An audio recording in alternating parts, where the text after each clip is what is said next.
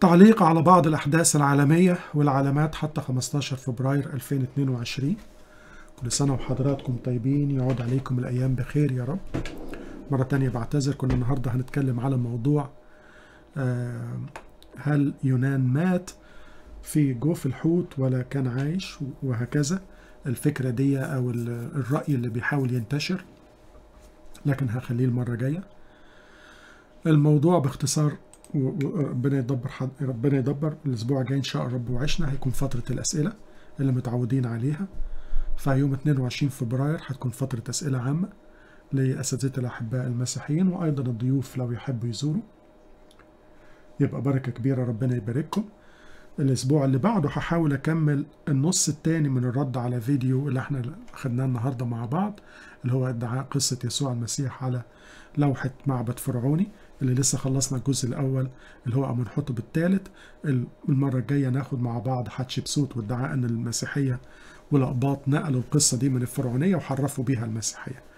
خلصنا الجزء الأول وهناخد الجزء الثاني مش الأسبوع الجاي الأسبوع الجاي فترة أسئلة. ده لو ربنا يعني أعان الصحة المتهالكة لكن الأسبوع اللي بعده إن شاء الرب وعشنا. تنبيه مهم بقول للناس الأساتذة الأحباء الفيديو ده بيكون في بعض الأخبار والتعليقات البعض بيكتئب منها ليها تأثير سلبي. بعض بيحس بخوف أو اكتئاب. لو أنت من النوعية دي فريد تقفل الفيديو وريح نفسك. اللي هيكمل الرؤية على الفيديو هدف الخدمة دي تذكرة بحياة اليقظة الروحية حياة الاستعداد حياة إن إحنا نكون فعلا نور العالم اللي أصبح ضلمة جدا من الخطية والمعلومات الكاذبة في كل مكان والإعلام اللي بقي واضح إنه أقوى سلاح في يد الشيطان. مش بس الإعلام المصري ولا الإعلام العربي هو اللي بقي الإعلام الأساسي هو اللي بقي مضلل الإعلام العالمي بقي خلاص سلاح في الشيطان. كل المين ميديا في أي دولة بقت شيطانية للأسف. ده أسمحوا لي أقول التعبير. بلاش أقول كل أغلبها نادرا ما تلاقي وسيلة إعلام محايدة أو بتحاول. نادرا جدا حتى لما تسمع الرأي الآخر. يعني أنا مستغرب حتى قناة فوكس نيوز إزاي موجودة لغاية دلوقتي. ما قفلوهاش لكن هيقفلوها. sooner later لأنهم مش هيسمحوا بالرأي الآخر كتير. Anyway الخدمة دي هدفها حياة الاستعداد. تفتكر إن أنت محتاج ترفع رأسك لفوق لأن نجاتك تقترب. ما أعتقدش أي حد بيندم إن لما كانوا بيفكروه يستعد للحياة الروحية. لكن ناس كتيرة كانت مشغولة أعتقد ندمت لما سلمت ودعتها وبقت واقفة أمام ربنا. ربنا قال لنا علامات كتير زي ما إحنا درسناهم كتير مع بعض. قال لنا ليه كل هذه العلامات؟ علشان واحد ما نخافش. اتنين علشان نؤمن قلت لكم قبل أن يكون حتى متى كان تؤمنون. لأنه لما ربنا يقول لنا أشياء ما تنفعش تحصل بالصدفة وتحصل قدام عينينا بمنتهى التدقيق ده يؤكد لنا إن إزاي إيماننا صحيح وادي بيشهد عن نفسه وحي وفعال حتى في الزمان اللي إحنا عايشينه اللي قد يكون الزمان الأخير. والحاجة الثالثة والمهمة وده هدف الخدمة زي ما قال لنا متى ابتدأت. تبتدي الحاجات دي تحصل ترفع راسك لفوق. وبيعجبني التعبير. ارفعوا رؤوسكم. ليه؟ معناها إن في الزمان ده بدل ما زمان آه من 100 سنة فاتت ولا من 150 سنة فاتت الناس كانت ماشية بصة لقدام. إحنا أصبحنا في جيل الناس حتى لو ماشية بصه لأسفل. صح؟ كل الناس دلوقتي بقت ماشية بصه على السيلفون لأسفل. فربنا بيقول لنا الزمان ده هيدينا علامات. ارفع راسك من التكنولوجي والأجهزة اللي خدت خلت راسك بدل ما تبص لفوق بقت تبص لتحت لأن نجاتكم تقترب. الخلاص والرسالة جاية لك من فوق مش جاية لك على ال cell phone من تحت. ال message اللي جاي لك على ال cell phone ولا الإيميل ولا المكالمة مش هي الخلاص الخلاص فوق. علامات في السماء زي ما قال لنا الكتاب. عالم فضاء يرصد لأول مرة مذنب بثلاث أقمار في حادثة غريبة. أكبر مذنب في خارج المجموعة الشمسية يتم رصده. ده من نيو ساينتست طوله 137 كيلو متر إيلون ماسك يخسر 40 satellite بعد عاصفة كهرومغناطيسية من الشمس ضربت الأرض. بوظت له 40 satellite. كلفته 10 مليون. 11 satellite في مخاطر من احتمالية حدوث عاصفة شديدة. ده من AccuWeather. خلاص أصبحنا في زمان عجيب. بقينا نسمع عن ال satellite دي كما لو كانت حاجة عادية. تخيلوا أهالينا من 100 سنة فاتت بس لو سمعوا أو شافوا حاجة اسمها satellite قدامهم في السماء. دول كانوا يجروا مرعوبين. إحنا بقينا نشوف العجائب اللي في السماء دلوقتي و satellite بيقع بال40 satellite ولا حاجة عادي. الصين تهاجم أمريكا بعد ما أمريكا رفضت ادعاء إن satellite ستار لينك كاد يصطدم بالمحطة الفضائية الصينية ففي في زحمة في الفضاء. الصين قالت إنه ال satellite بتاع ستار لينك كان خلاص هيخبط في المحطة الفضائية الصينية. أمريكا رفض الادعاء ده فالصين بدأت تهاجم أمريكا. اصطدام صاروخ سبيس إكس بالقمر ده هيحصل يوم 4 مارس. هيسبب مكان الاصطدام كريتر واضح يوم 4 مارس. فهتبقى حدث غريب نشوفه يومها. والزبالة بتاعت الفضاء بدأت تتزايد جدا بسبب الكوارث اللي بيعملوها. وهيجي في يوم الحاجات دي تتوقع على الناس والناس تتحرق زي ما قال الكتاب المقدس. وهيعملوا إيه؟ هيجدفوا على اسم ربنا. يوم 8 فبراير استمرارا طبعا لتساقط الأحجار السماوية أو أو كرات السماء. يوم 8 فبراير 14 كرة نارية في يوم واحد. يوم 11 فبراير 16 كرة نارية في يوم واحد. وتزايد عدد الأجسام الفضائية اللي بتهدد الأرض أصبحنا دلوقتي كل ما لها القائمة دي بتتزايد. أصبحنا 2267 جسم فضائي بيهدد الأرض أو نجوم سماء لأن اللفظ في اليونان يحمل معنى جسم فضائي. تخيلوا المفروض لو عمر الأرض قديم زي ما بيدعوا والكلام دي بتتآكل من زمان كان الكلام ده اختفى تماما. الكتاب قال لنا عمر الأرض قصير والكلام ده هيزيد في أواخر الأيام وده بيحصل بمنتهى الدقة زي ما قال الكتاب. طلع مين الصح ومين الغلط؟ ادعاء قدم العمر والعلماء طلعوا غلط. الكتاب المقدس هو اللي طلع الصح كالعادة. الطقس اللي فعلا الأمواج تضج الأرض اللي بيبقى عليها كرب الخوف من الكوارث اللي هتحصل للأرض. وطبعا أنا عارف إن البعض هيقول بيؤمن بموضوع أن الإنسان الشرير اللي بيلوث الأرض مش البشر العاديين. حضرتك وحضرتك لما بتدفي بيتك ولا بتستخدم سيارتك مش أنت السبب. عندك ثلاث حاجات أساسية كوارث. أولا النشاط الشمس المتزايد. اثنين النشاط البركاني المتزايد. والزلازل أيضا. ثلاثة القمر اللي بيتباعد وبيبقى المسار بتاعه بدأ يبقى وبلي مأثر على كل الكوارث بالمد والجزر بتاعته. فارتفاع الحرارة في بعض المناطق مناطق من الشمس كما مع تأثير المد والجزر من القمر دول مش الإنسان بالإضافة للتجارب الكيماوية والتجارب النووية والمصايب اللي بتعملها الدول وفي الآخر أنت اللي تدفع الثمن حقيقي. طقس خطير يهدد لوس أنجلوس.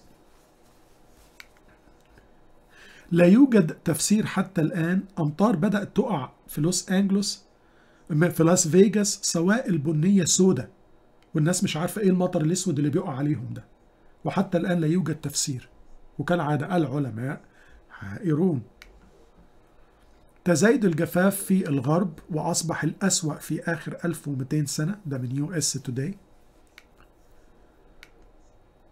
الزلازل أيضا اللي بتتزايد زي ما قال لنا الكتاب على عكس المتوقع. لو كانت الأرض قديمة وبردت وخلاص تكون الحاجات دي انتهت. كتاب قال لنا هتتزايد وفعلا ده اللي حصل. يوم الثلاث اللي فات 25 زلزال منهم بقوة 6.2 من عشرة في صدع الأطلنطي. ففعلا الزلازل بتتزايد ورقم ستة اللي خلا اللي كنا نسمع عنه يتعدى على صوابع اليد. دلوقتي بقينا نسمع عنه مرة أو أكتر كل أسبوع. يوم الأربعاء اللي فات 46 زلزال ما بين متوسط وقوي. يوم الخميس 41 زلزال. يوم الجمعة 38 زلزال ما بين متوسط وقوي يوم السبت 41 زلزال ويوم الحد 48 زلزال ويوم الاثنين 40 زلزال. الأسبوع ده حصل فيه 98 زلزال قوي لا متوسط ولا ضعيف قوي فقط. منهم واحد بقوة ستة واتنين من عشرة في الأطلنطي. وسائل الإعلام تتساءل هل الأطلنطي الهزات اللي بتحصل في بحيرة إيري لها علاقة بأن ينابيع الغمر العظيمة بترتفع فيها درجات حرارة؟ طبعا هم ما يقصدوش ينابيع الغمر الكتابية. هم ال Great Lakes بالنسبة لهم ترتفع فيها درجة حرارة أو ال deep water. إنه في already تم اكتشاف إنه في ينابيع غمر أو غرف مائية عملاقة أكتر من المياه السطحية بكثير. دي خلاص تم اكتشافها ومحدش يقدر يجادل فيها. فهل عشان بتتزايد حرارتها ده اللي بيزود الحرارة وبيسبب هزات. العلماء حائرين من الزلازل الصامتة اللي بتسبب سونامي سونامي بدون ما يكون ليها مقدمات. ده من نيوزويك في نفس الوقت اللي زادت فيه الزلازل زي ما قلت لحضراتكم وزادت فيه تلاطم الأمواج وزادت فيه الأنشطة الشمسية وزادت فيه تساقط نجوم السماء تزايدت فيه برضو النار وبخار الدخان اللي هي البراكين والحرائق. يوم 9 فبراير متابعة لنشاط تسع براكين قوية. بعد ما كنا نتكلم على 3 4 في السنة بص بقينا نتكلم على كام بركان قوي في اليوم. انفجار بركان لانجيلا يطلق رماد ل 14000 قدم انفجار بركان نيفادو أطلق رماد ل 23000 قدم يوم 11 فبراير متابعة لنشاط 8 براكين قوية. انفجار بركان سانجاي أطلق رماد ل 23000 قدم انفجار بركان سابانكايا أطلق رماد ل 24000 قدم كل ده رماد بيخرج من البراكين اللي بتتزايد نشاط مش بتقل. المفترض لو الأرض قديمة وبردت الكلام ده يكون انتهى. لو الأرض من أربعة وستة من عشرة مليار سنة. ده واضح واضح وضوح الشمس. إن البراكين بتتزايد ده مش معناه معناها إن الأرض صغيرة العمر وليست كبيرة العمر. يوم 12 فبراير متابعة لنشاط سبع براكين قوية. انفجار بركان إتنا ويطلق رماد ل 10000 قدم انفجار بركان فويجو ويطلق رماد ل 15000 قدم انفجار بركان ريفانتادور أطلق رماد ل 15000 قدم وده ملخص البراكين النشطة يوم الحد اللي فات. كل دي براكين نشطة في يوم واحد. كل دول. متخيلين؟ اللي لونها بالأحمر في حالة انفجار واللي لونها orange minor activity أو نشطة متوسطة أو صغيرة. كل دي براكين في نفس اليوم يوم الحد اللي فات من فولكانو ديسكفري قارنوا الكلام ده بنفسكم ما بين 2005 و6 وما قبلها. موت الكائنات جماعي اللي كانت ممكن تحصل حادثة في السنة أو مفيش خالص. لكن الكتاب قال لنا ده هيحصل. سمك البحر ينزع طيور السماء تقع ميتة. الحادثة دي لما حصلت كان ممكن تقع كل عدة سنين طيور من السماء. في حادثة برد يعني عاصفة ثلجية شديدة تضربهم فيموتوا. لكن طيور تقع بدون سبب ما كانتش بتتعمل في مكان واحد بس هو أفلام ال ال ال الرعب. ألفريد هيتشكوك والكلام ده كله أن الطيور تقع ميتة. دلوقتي بيه خلاص بنسمع عنها كل أسبوعين ثلاثة اللي هقوله ده على سبيل المثال لا الحصر في أسبوع. يوم 6 يناير قتل مليون دجاجة بسبب إنفلونزا الطيور في إنجلترا ده من بي بي سي نيوز. نفس اليوم موت ثلاث حيتان من نوع نادر في شاطئ في أستراليا. ده من ديلي تلجراف يوم 13 يناير موت الآلاف من الأسماك أطنان ضخمة قدام حضراتكم في نهر في الأرجنتين. أكثر من 200 طائر يقعوا أموات من السماء مثل المطر في جنوب ولس ولا يوجد تفسير. الطيور بتقع ميتة ليه؟ نفس المنظر يتكرر في مدينة مكسيكية تقع الطيور بدون سبب وهي طايرة من السماء وتقع زي المطر. أنتوا متخيلين انه لو حد يخمن حاجة زي دي ده كان يتقال عنه مجنون وبيشعوذ والكلام ده مستحيل. وفعلا الكلام ده يقوله الكتاب المقدس وبدقة. افتخر بكتابك المقدس مفيش كتاب آخر قال على علامات نهاية الزمان إلا الكتاب المقدس. كتاب واحد بس جه بعده بسبع قرون حب يقلده فحولها أساطير. آسف. أول حالة إصابة مزرعة أمريكية بإنفلونزا الطيور يحصل في إنديانا. انتشار إنفلونزا الطيور المعدية بشدة في الطيور البرية في كارولاينا الشمالية يسبب قلق لتربية الطيور في أمريكا. الأوبئة واللي لسه خلاص عايشين في واحد لكن خلاص أعتقد قرب ينتهي. نشكر ربنا. الإصابة العالمية توصل ل 413 مليون ما بين دول بتغالي في الأرقام ودول بتقلل في الأرقام. والوفيات توصل ل 5.8 من عشرة. أنا آسف الرقم خطأ. معلش اعتذار. مش راضي anyway ما علينا. 5.8 من عشرة مليون. وانكسار الموجة الخامسة فبدأت تتناقص عالميا. بسبب ضعف الأوميكرون اللي أصبح هو المنتشر في العالم معدل الوفيات في آخر 28 يوم قدام حضراتكم ده من جون هوبكنز أصبح 0.3% يعني 3 من كل ألف وغالبا بيكون عندهم كوموربيديتي وكمان الرقم ده بيتناقص. نشكر ربنا. فرنسا رغم التطعيم هي أصبحت بتتقدم جدا في الإصابة وهي أصبحت الثانية في الإصابة بعد أمريكا. ألمانيا أيضا رغم التطعيم وده حاجة غريبة أصبحوا اللي بيتقدموا كالعادة من سنة وشوية اللي بيتقدموا القائمة هي الدول كثيرة التطعيم. تصبح الرابعة في الإصابة في المقابل بريطانيا لإعادة الحياة الطبيعية تستمر تنخفض الإصابات والوفيات. مرة تانية رجاء محبة. لو اتطعمت وخدت الحقنتين معلش it's okay okay. بلاش ال booster dose ال booster dose الإشارات بتوضح إن هي بتزود المشاكل مش هتعمل أي حاجة وطالما الأولانية ولا التانية حموك يبقى التالتة لزومها إيه وكل ماله ما بنكتشف وبيبان قدامنا ال benefit بيقل بيقل بيقل وال risk بيزيد بيزيد بيزيد بيزيد. فبقت الكفة واضحة تماما إن أنت تبعد عن هذا التطعيم لأن ال risk أعلى من ال benefit بكثير جدا. فيما عدا الناس العواجيز قوي ورغم كده حتى كمان الأوميكرون بالنسبة لهم بقي ما بيموتهمش. بعد بريطانيا كمان والنرويج والدول الكتيرة اللي بدأت تفتح أيضا بولندا تعلن عن انتهاء وباء الكوفيد. ده من راشن توداي أيضا ألمانيا تعلن عن خطة إنهاء قيود الكوفيد في مارس. بعد العديد من الدول الأوروبية أيضا العديد من المقاطعات الكندية تعود للحياة الطبيعية تزامنا مع مظاهرات الشاحنات.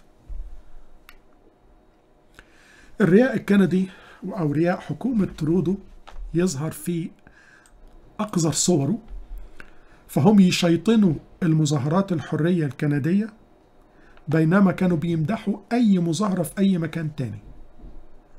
فكابتن ترودو اللي كان بيفرح بأي مظاهرة تطلع في الهند ولا هنا ولا هنا لكن طلعت مظاهرة في كندا ضده لا تبقى شيطانة. ومصر ما يستسلمش للأسف بيعمل مثال لكل القوى الدكتاتورية في العالم إن يعملوا زيه. إدارة بايدن تطالب حكومة ترودو باستخدام القوة الفيدرالية في إنهاء المظاهرات الكندية. أمال فين الحريات والديمقراطية والتفاهم والنقاش؟ كله دلوقتي بقي بالقوة. سبتوا إيه للدول الدكتاتورية؟ سائقي الشاحنات الكنديين يخف يخالفوا أوامر المحكمة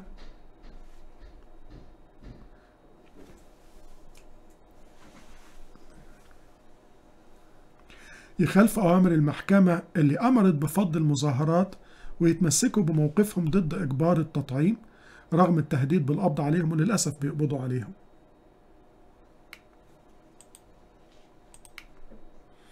الشرطة الكندية فعلا بدأت تقبض عليهم وسحب السيارات بدأت تفتح واحد من أهم المعابر بين كندا وأمريكا.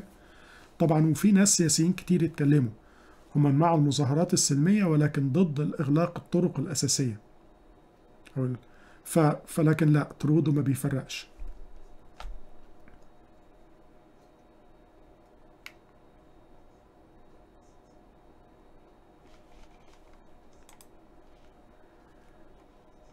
لحظة واحدة يا جماعة.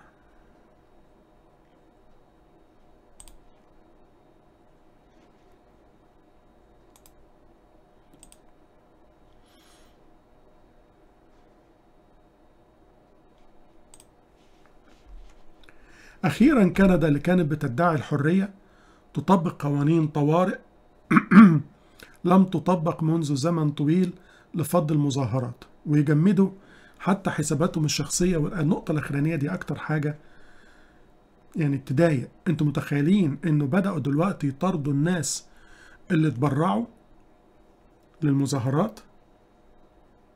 متخيلين؟ يعني الشخص اللي اتبرع للمظاهرة بدأوا دلوقتي يروحوا لحساباته الشخصية ويستولوا على فلوسه في الحساب الشخصي. أدي اللي إحنا وصلنا له. الإنسان ده رغم إن هو غبي ولكن اللي وراه شيطانهم كبير جدا. ده مش تصرفه هو ده أغبى من إن هو يعرف يفكر في الحاجات دي. الشياطين اللي ورا هذا البني آدم لأ شياطين صعبه قوي وفعلا في محك حاليا.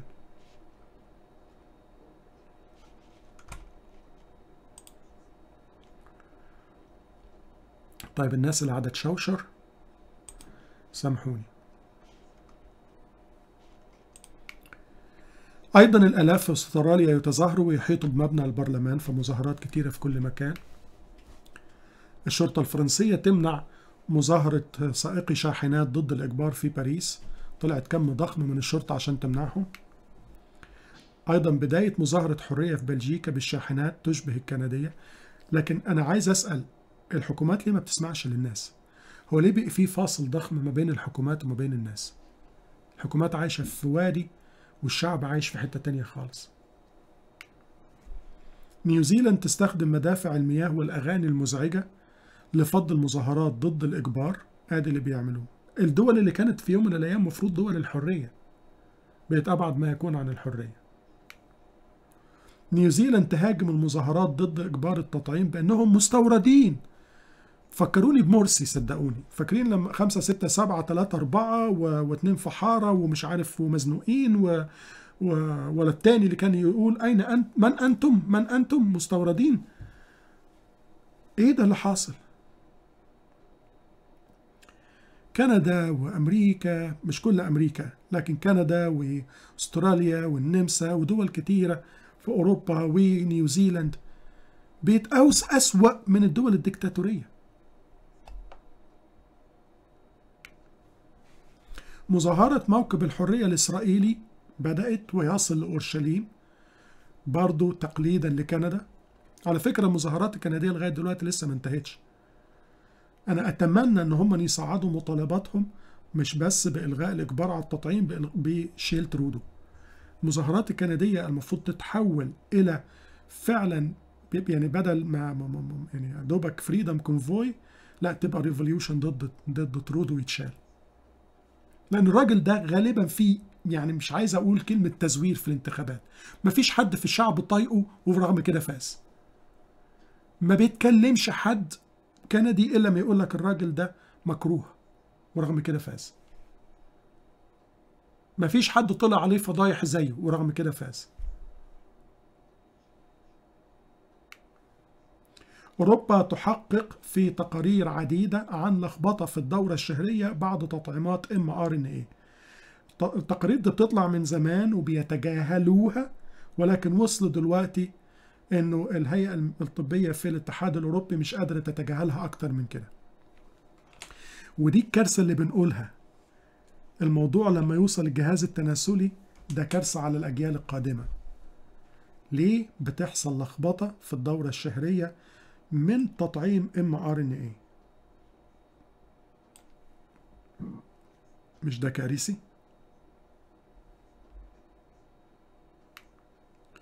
سياسي روسي بعد ما حصل على 8 تطعيمات للكوفيد. دلوقتي بيصارع الحياة في مستشفى وعلى ventilator. أمال التطعيم ما حماهوش إزاي؟ بيل جيتس نبي الطبيعة بيل جيتس يدعي إن هو يستطيع أن يوقف أوبئة المستقبل ويقول ثلاث حلول لو عملتوهم مفيش وباء هيحل في المستقبل. يا سلام. اتضح إن التحور الجديد اللي من إيدز أكتر إصابة ولكنه أسهل في العلاج. فواضح إن كمان الإيدز بدأ يضعف رغم إنه أخذ وقت طويل جدا. ده من نيو ساينتست. اتضح أن الإيبولا ممكن تستمر في سوائل المخ وتسبب بعدها نكسة مميتة في دراسة عملوها على القردة فمش بس اللي بينجو ده حتى للأسف اتضح أن اللي بينجو من الإيبولا لا ممكن بعد فترة يرجعوا يموتوا تاني. ده من لايف ساينس أخبار الحروب اللي بتتزايد. بلاش الجرعة الثالثة يا جماعة. رجاء يعني انت خدت الجرعتين الأولانيين. لو ما حكموا لو ما حموككش هتعمل إيه التالتة؟ بطلوا الكذبة بتاعت إنه لا البوستر هتحميك. طب الأولانية والتانية ما حمتش ليه؟ الأول كنا خايفين من اللي ما نعرفوش. دلوقتي بدأ يتعرف.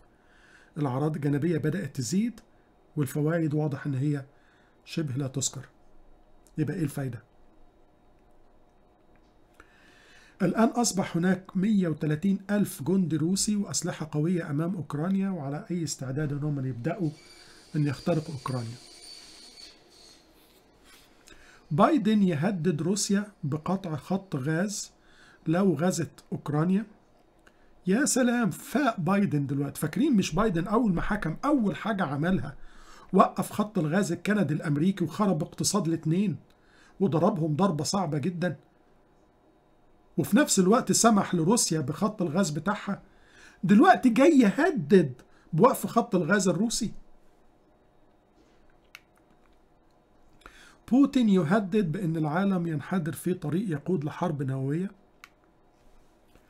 روسيا والصين في اجتماع الأمم المتحدة يعلنوا أن العقوبات ضد روسيا هي أحادية الجانب بدون تدعيم الأمم المتحدة فيعترضوا عليها. في مقابل تدعيم روسيا للصين في موضوع تايوان روسيا كمان هي التانية تفوز بالتدعيم الصيني في موضوع أوكرانيا. يعني روسيا بتدعم الصين إن هي تاخد تايوان والصين بتدعم روسيا إن هي تاخد أوكرانيا. ده اللي بيعملوه مع بعض بيقسموا التركة. بيقسموا تركة العجوز الكبير بايدن اللي مش هيعرف يتصدى للاثنين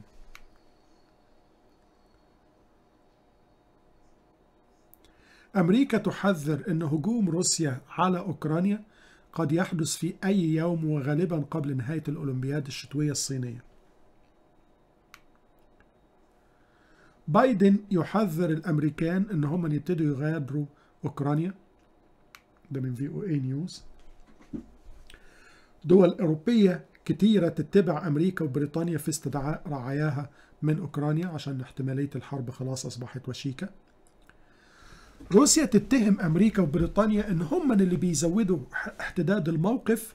أصل روسيا واصل أمريكا وبريطانيا في أشد الحرب في أشد الحاجة لحرب بأي ثمن. قال يعني أمريكا وبريطانيا عايزين حرب بأي ثمن فبيختلقوا الموضوع ده بتاع روسيا وأوكرانيا عشان تحصل حرب. بوتين يقول لماكرون إن إدعاء الغزو ده افتراض استفزازي. أمال جمع 130 ألف جندي على حدود أوكرانيا ليه؟ الدنمارك تخطط أن تسمح بتواجد قوات أمريكية على أراضيها بسبب تزايد حدة الموقف في أوكرانيا الصين تهاجم اجتماع الرباعي للأمن بين أمريكا والهند وأستراليا واليابان وتقول إن عقليتهم عن الحرب الباردة يعني لسه عايشين في زمن الحرب الباردة أمريكا وحلفائها الآسيويين يتقابلوا ليعمقوا العلاقات ضد الصين. تايوان تستلم صواريخ باتريوت الأمريكية في تزايد التهديد الصيني ضدها. بريطانيا تنضم للاتحاد الأوروبي في تأييد ليتوانيا ضد الصين. فاكرين ليتوانيا لما أيدت تايوان فالصين بدأت تعاقبها بشدة. الاتحاد الأوروبي دلوقتي بيأيدها وبريطانيا كمان هتأيدها. كوريا الشمالية تستمر تطور أسلحتها بالرغم من العقوبات مش فارق معاها عقوبات ولا غيره مكمل في الكوارث الأسلحة اللي بيعملها هذا الرجل. ولا حد قادر يتصدى ليه. إسرائيل تقوم بتدريب عسكري للوقوف ضد إيران بتدخل أمريكي. إيران تظهر نوع صواريخ جديد بمدى 1450 كيلو متر يحمل اسم خيبر ضد اليهود. ده من جيروزاليم بوست إيران تطالب برفع العقوبات الأمريكية وتعتبر خط تعتبره خط أحمر. إيران بتهدد دلوقتي لإعادة إحياء اتفاق 2015 سوريا تطلق صواريخ مضادة للطائرات على هجمة إسرائيلية على أهداف سورية تابعة لإيران. روسيا تطالب إسرائيل أنها تتوقف عن الضربات اللي بتقوم فيها الضربات الجوية اللي بتقوم فيها في سوريا. فخلاف ما بين روسيا وإسرائيل أيضا بيتزايد وهل ده معناه اقتراب حزقيال 38 الحوثيين يقولوا أن صواريخهم وطائراتهم بدون طيار أصبحت أن هي قادرة على الوصول لتل أبيب وميناء إيلات يعني الحوثيين كمان بيهددوا أن هم يضربوا إسرائيل. مكتب مسؤول إسرائيلي سيفتح في البحرين في خطوة بيعتبروها تاريخية في تزايد العلاقات ما بين دول عربية زي الإمارات والبحرين بإسرائيل. أخبار عامة. كارثة وهي اكتشاف أن مفاعلات أمريكا فيها قطع غيار مزورة. وبداية التحقيق إزاي حصل الكلام ده؟ إزاي قطع غيار مزورة وصلت واتركبت في مفاعلات أمريكية وممكن تودي الدنيا في داهية.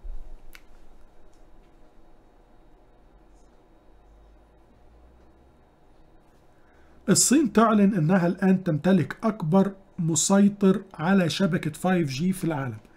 عارفين شبكة 5G واللي بتت... بت... بتراقب الناس واحتمال تكون بتعمل كوارث صحية وهكذا؟ مين اللي مسيطر عليها دلوقتي في العالم تقريبا؟ هي الصين. فألف مبروك الصين دلوقتي هي اللي بتتحكم في الكوميونيكيشن في العالم. علماء في هارفارد ينتجون أسماك بقلب بشري صغير مصنع في المعمل. إسرائيل تكون نظام جديد للتحذير من زلازل يصدر تحذير في خلال ثواني من أول بداية هزة. العلماء يتقدموا خطوة كبيرة لاستخدام طاقة من النجوم اللي هي طاقة الاندماج. أبحاث طاقة الاندماج تقترح أن إحنا بالفعل يمكن بناء شموس صناعية زي ما عملت الصين وبدأت أمريكا. ده من نيو ساينتست فخلاص داخلين في زمن إن هيعملوا ما يسمى بالشموس الصناعية كمصدر الطاقة على الأرض.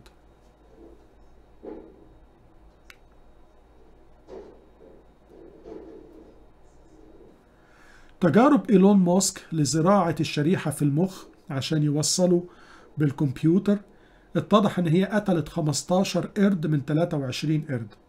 فربنا يستر لما عايزين يطبقوها السنة دي على البشر.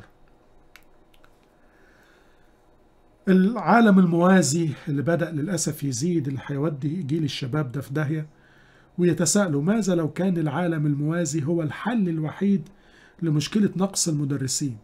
عايزين الطلبة تتعلم من العالم الموازي كارثة ايدي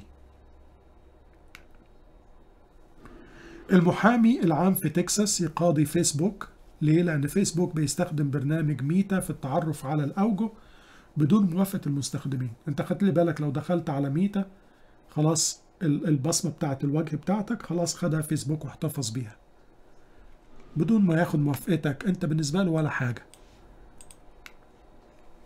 آبل تعترف إن أحد منتجاتها هو بيتجسس بالفعل على المستخدمين. إيه رأيكم؟ اللي هو ال tracking system.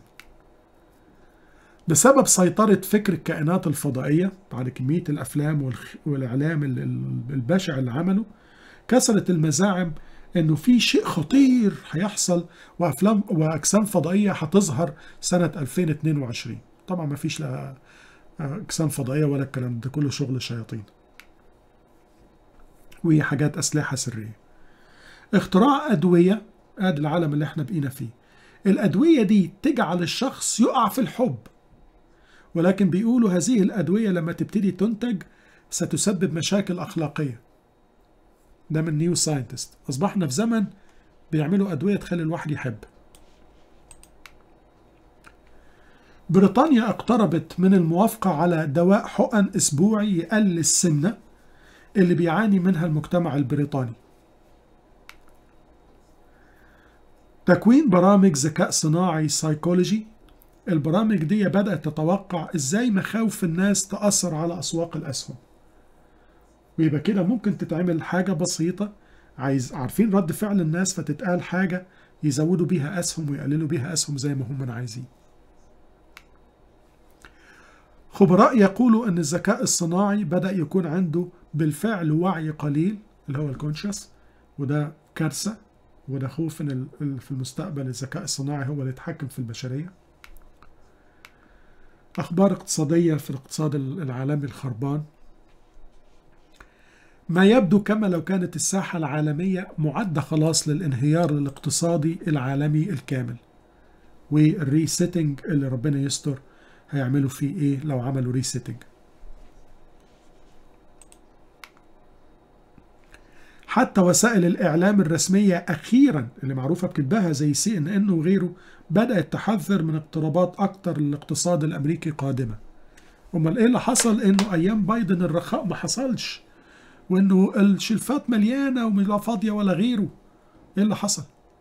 فجأة سي إن إن طلع لها الضمير.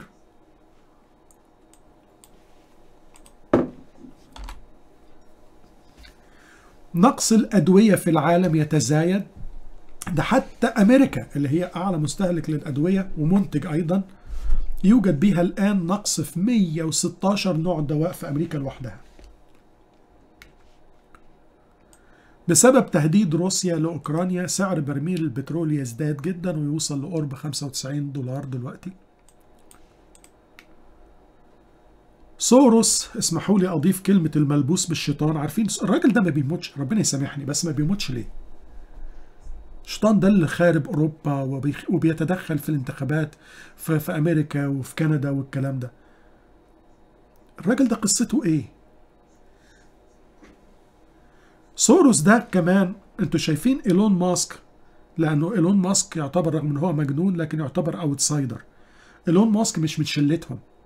فبدأوا يحاربوه. فسوروس يشتري أسهم بقيمة 2 بليون في الشركة المنافسة لتسلا. هم طبعا عايزين اللي يكونوا أغنياء العالم والمتحكمين يكونوا الشلة بتاعتهم مش عايزين حد خارجي. اضطهاد المسيحيين المتزايد.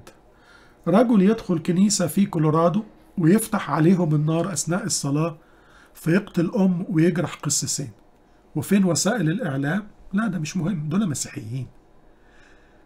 راجل مسلم أحمدي غالبا أو دخل مجلس مسجد أحمدي وضرب بالنار. المسلمين أخذوا حقوق ما حصلتش في العالم كله. العالم كله قاعد إسلاموفوبيا. ده مسلمين في بعض إسلاموفوبيا. والمسيحيين بيتقتلوا ليل نهار ولا واحد بيتكلم عليهم. في أفريقيا وفي آسيا وفي أوروبا وفي أمريكا. ولا حد بيتكلم. ليه؟ الانحدار الأخلاقي المتزايد.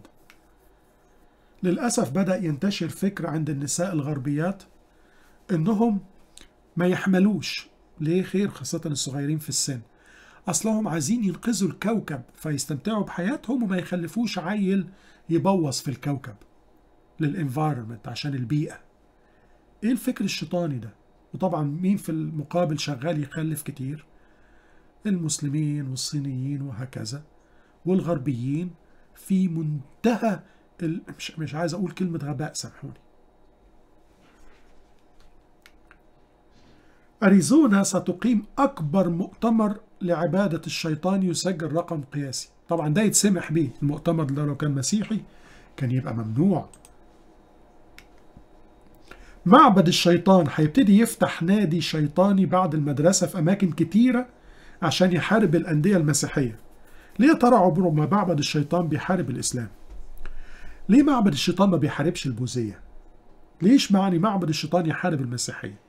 والإسلام يحارب المسيحية والشيوعية تحارب المسيحية والشواذ يحاربوا المسيحية. ليه؟ محدش لفت نظره للموضوع ده.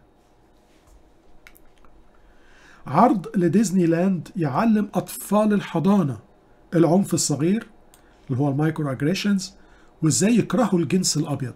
أنا مستغرب عن الشعب اللي بقي يكره تاريخه ويكره لونه ويكره ثقافته ويكره نفسه. وصلنا إن البيض في أمريكا لو يقدروا يقتلوا نفسهم ويخلصوا ويسيبوا البلاد بتاعتهم للهسبانيك وللمسلمين والكلام ده هيعملوها. بريطانيا تقيم حفل وتلغي جائزة أحسن ممثل وممثلة وتجعلها جائزة متعادل الجنس إيه اللي حصل للناس دي؟ إيه القصة دي كلها؟ ليه بقي كله بيتحول لأجل الشواذ؟ فعلا لعل حين يأتي ابن الإنسان يجد الإيمان على الأرض وفعلا زي ما قال ربنا في إنجيل لوقا 21 كما كان في أيام لوط هكذا سيكون في زمان مجيء ابن الإنسان بايدن يعين شخص شاذ في وظيفة نووية عليا حساسة. بصوا منظره إيه. فهل ده بتتساءل وسائل الإعلام ده يعتبر تقدم ولا تدهور أخلاقي؟ إن يتعين شخص زي ده في وظيفة نووية مهمة جدا في إدارة بايدن ده إيه ده يسمى إيه؟ الشرطة البريطانية تداهم منزل سيدة وتقبض عليها. ليه عملت إيه؟ فجرت قنبلة زي المسلمين؟ لا. لأنها على النت اعترضت على أجندة الشواذ. إزاي تعترض على أجندة الشواذ على النت وتعبر عن رأيها؟ الشرطة تروح لها وتقبض عليها في البيت أمام عيالها الصغيرين عشان عبرت عن رأيها ضد الشذوذ. ادي اللي حاصل. وادي الأجندة الشيطانية واضحة عشان ما تقولوش يا حرام الشواذ غصبا عنهم. لا مش غصبا عنهم. دي أجندة شيطانية واضحة. مقاطعة مدارس أمريكية تلغي حفلات الرقص التقليدية ما بين الأب وبنت وهكذا. ليه؟ عشان خاطر الشواذ. ليه؟ من إمتى كان الأقلية يهضموا تماما ويلغوا تماما حق الأغلبية؟ من إمتى كان الكلام ده؟ في أي ديمقراطية ده؟ لما تبقى أقلية لا تمثل واحد في المية. تقضي تماما على حق الأغلبية اللي يمثلوا تسعة وتسعين في المية. ده اسمه إيه؟ آدي اللي بيحصل وخلي بالك المستهدفين هم من الشباب الصغيرين الأطفال والشباب. ودول اللي مسؤولين منكم. عشان كده مطلوب مننا إن إحنا نصلي ونستعد ونعد زيت في مصابيحنا. لاستقبال العريس وعلشان خاطر نكون نور لهؤلاء صغار النفوس اللي بيعصروا من ظلام الخطية في العالم. احترسوا لما تمسكتش بالمسيح من الآن ممكن ما تقدرش في المستقبل القريب. ربنا قال لنا الحاجات دي قبل ما تحصل عشان لما تحصل ما نخافش. وقال لنا قبل ما تحصل عشان لما تحصل نؤمن بروعة كتابنا اللي قال لنا بص هيحصل إزاي؟ وهي قدام عينينا بتحصل بأكثر تدقيق مما يشهد الكتاب عن نفسه بأنه وحي إلهي. رائع ودقيق جدا. وأيضا ربنا قال لنا قبل ما يحصل عشان لما يحصل. آه وقال لنا الكلام ده قبل ما يحصل عشان لما يحصل نرفع راسنا لفوق. لما تبتدي الكلام ده ارفع راسك لفوق واستعد لأن نجاتكم تقترب. عريسنا اقترب اصنعوا ثمار طليق بالتوبة واستعدوا لاستقبال العريس. أمين تعالى أيها الرب يسوع والمجد لله دائما. وأشكر ربنا على كل حال كالعادة وأشكر ربنا خاصة النهاردة جدا أن عرفت أكمل مع حضراتكم لأنه الحالة الصحية على قدها فأشكر ربنا جدا أن عرفنا نكمل. أشكر حضراتكم على تواجدكم وآسف لو أخطأت بفعل بقول بتعبير بمعلومة. أنا إنسان ضعيف لكن لو ده حصل صدقوني لم يكن على قصد. ربنا يبارك حضراتكم ورجاء محبة اذكروني في صلاتكم وكل